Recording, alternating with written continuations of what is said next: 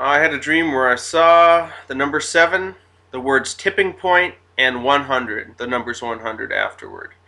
And God told me to go on a seven day fast. It'll cause the tipping point over from evil to good, and there will be the 100 fold return. And to celebrate my victory that is already won in Jesus Christ, we're going to rap in tongues a little bit.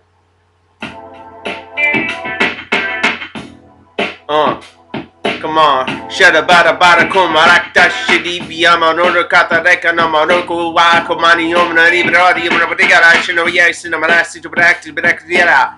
Keda mana kuda kuda kada kana mano shuma shuma shinini yara kana nano kuda bada kada bada shikati de yaka nama no kuda rekata da bada kiti nada.